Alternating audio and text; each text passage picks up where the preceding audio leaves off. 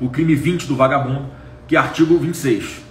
Caluniar ou difamar o presidente da República, o do Senado Federal ou da Câmara dos Deputados ou do Supremo Tribunal Federal, imputando-lhes fato definido como crime ou fato ofensivo à sua reputação. Pena reclusão de 1 a 4 anos.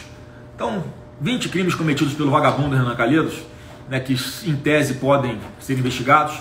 Isso aqui tudo eu vou pedir à minha assessoria que documente, que formalize e encaminhar ao Ministério Público Federal para que avalie se há ou não uma incidência de crimes cometidos por Renan Calheiros. E aí, como eu sou advogado também, eu estou dando, eu quero dar uma dica para você, Renan. Vou te dar uma dica.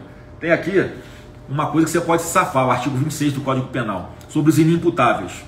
É isento de pena o agente que, por doença mental ou desenvolvimento mental incompleto ou retardado, era, ao tempo da ação ou da omissão, inteiramente incapaz de entender o caráter ilícito do fato ou de determinar-se de acordo com esse entendimento.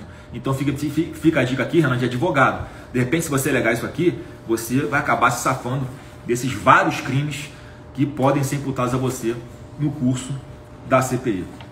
Então, é, só para finalizar, é, eu acho que essa CPI foi o maior atestado de idoneidade do governo Bolsonaro.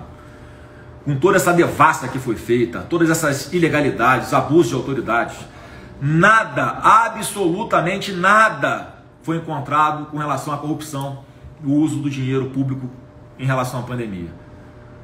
A coisa que eles acham de mais grave é acusar o presidente Bolsonaro de ser corrupto por causa de uma vacina que não foi comprada.